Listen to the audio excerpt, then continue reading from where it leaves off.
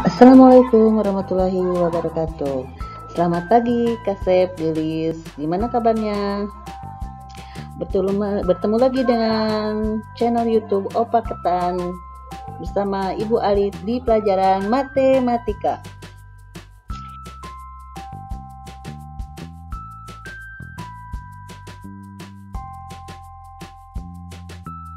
Di video kali ini kita akan membahas materi tentang sifat-sifat perpangkatan. Tapi sebelum membahas sifat-sifat perpangkatan, kita akan mengulang kembali, mengingat kembali tentang mana itu bilangan pokok dan mana itu pangkat atau eksponen.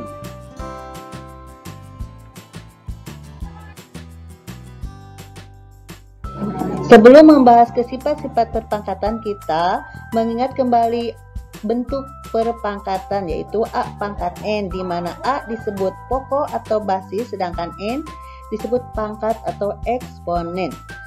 Perpangkatan disebut juga apa? Perkalian berulang yaitu A kali A kali A kali A di mana N adalah faktor.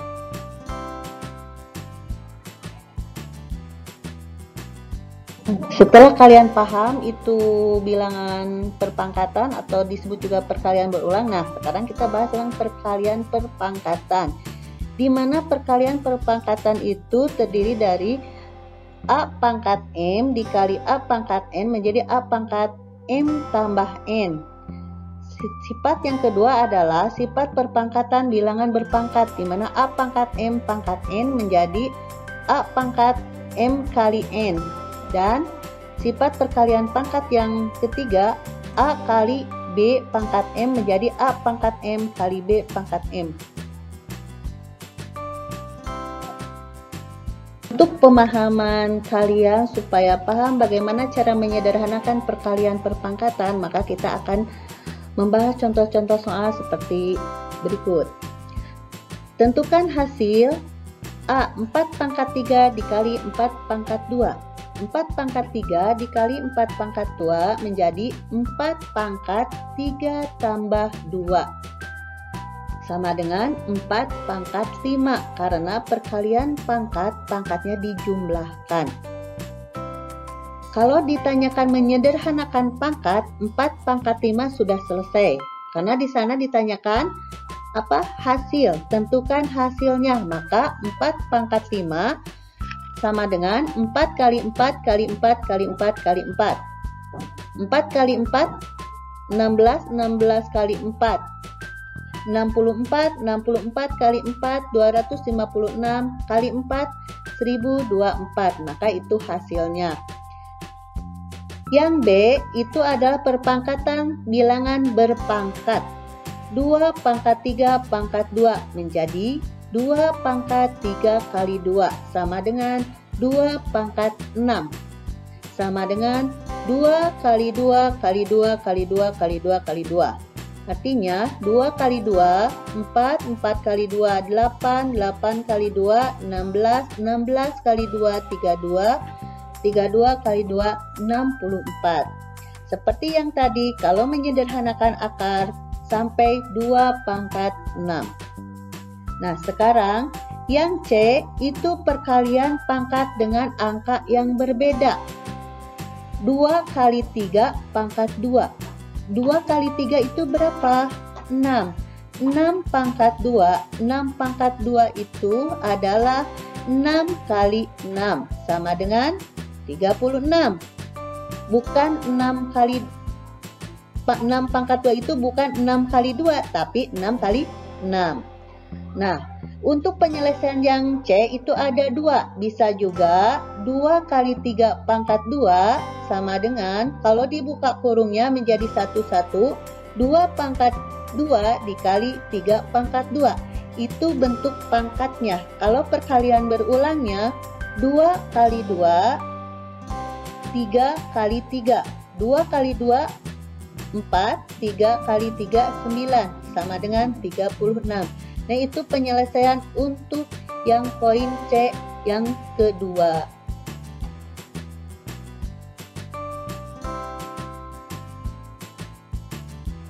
Sekarang kita akan membahas poin D, di mana bentuk soalnya 9 dikali kurung buka 0,2 kurung tutup pangkat 2 dikali 0,2 pangkat 1. Jadi yang tidak ada nilai, biar kalian tidak lupa, yang tidak ada nilai itu nilainya 1. Nah, bentuk perpangkatan sederhana dari 9 itu berapa? Artinya berapa kali berapa yang hasilnya 9.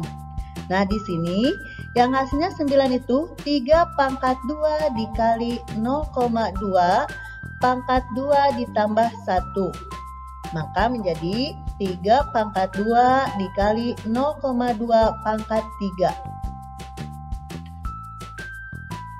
Nah, kalau ditanyakan bentuk sederhana dari perpangkatan 9 dikali 0,2 pangkat 2 dikali 0,2 adalah 3 pangkat 2 dikali 0,2 pangkat 3.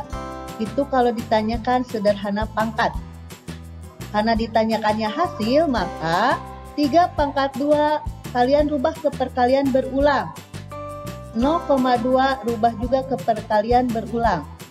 Nah, di sana 3 pangkat 2 menjadi 3 kali 3 dikali 0,2 pangkat 3 menjadi 0,2 dikali 0,2 dikali 0,2. Nah, setelah itu 3 kali 3 hasilnya berapa? 9. 0,2 dikali 0,2 dikali 0,2 hasilnya 0,008. Nah, setelah itu baru dikalikan untuk menentukan hasilnya. 9 dikali 0,008 sama dengan 0,072.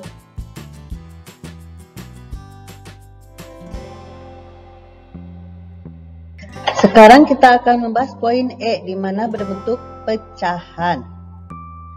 Kalau yang tadi poin D itu berbentuk ada desimal. Tapi kalau perkalian pangkat sama, semuanya ditambah. Tapi di sini yang poin E itu 1 per 2 pangkat 3 dikali negatif 1 per 2 pangkat 2 pangkat 3. Berarti ada yang belum selesai, yaitu yang ada dalam kurung, yaitu sifat perpangkatan bilangan berpangkat yang berbentuk negatif 1 per 2 pangkat 2 pangkat 3. Setelah itu kalian setelah menyederhanakan yang ada dalam kurung kalian yang pertama 1 per 2 pangkat 3 itu tetap tidak berubah. Tapi selesaikan dulu yang negatif 1 per 2 pangkat 2 kali 3. Maka pangkatnya dikalikan. Kalau bentuknya seperti yang di poin E. Lihat perhatikan yang benar. Nah setelah itu 1 per 2 pangkat 3 dikali negatif 1 per 2 pangkat 6. Di sana yang negatif 1 per 2 pangkat 6 karena pangkatnya bilangan genap maka hasilnya akan positif. Nah setelah itu setelah bentuknya menjadi 1 per 2 pangkat 3 dikali negatif 1 per 6 pangkat 6 rubah ke sifat perkalian pangkat. Menjadi 1 per 2 pangkat 3 tambah 6 sama dengan 1 per 2 pangkat 9 itu bentuk sederhana dari pecahan poin E. Nah, setelah itu karena ditanyakan hasil, maka menjadi 1 per 2 pangkat 9 itu berapa? 1 per 512 karena 1 per 2 nya ada 9 kali.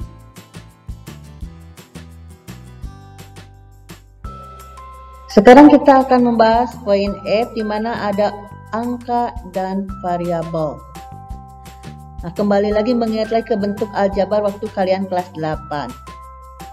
Di sini kalian dalam bentuk soal 7A pangkat 2 dikali B pangkat 3 dikali 3A pangkat 3 dikali B pangkat 4 kalian harus mencari dulu angka-angka yang atau huruf-huruf yang sejenis mana yang bentuknya sejenis nah di sana 7A pangkat 2 sejenisnya dengan 3A pangkat 3. Sedangkan B pangkat 3 sejenisnya dengan B pangkat 4. Nah, setelah itu baru kalian masukkan ke operasi hitung. 7A pangkat 2 dikali 3A pangkat 3 dikali B pangkat 3 dikali B pangkat 4. Nah, setelah itu karena di sana ada angka harus diselesaikan.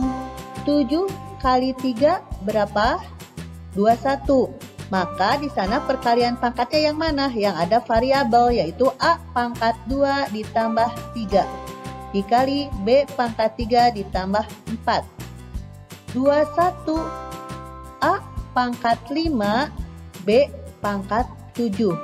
Nah itu hasil akhir dari 7A pangkat 2 dikali B pangkat 3 dikali 3A pangkat 3 dikali B pangkat 4.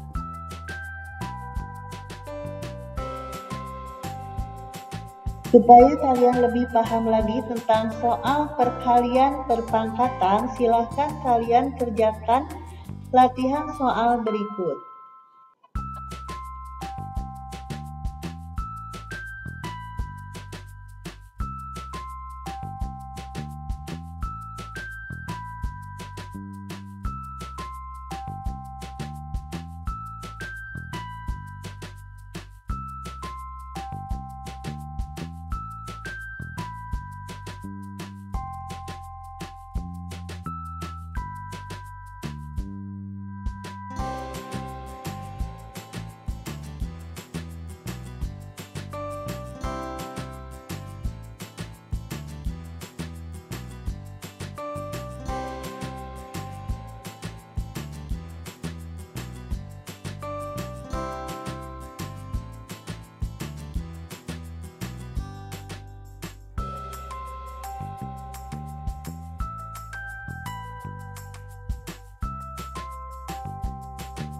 Sekian materi hari ini. Semoga kalian bisa memahami apa yang Ibu sampaikan tentang perkalian perpangkatan.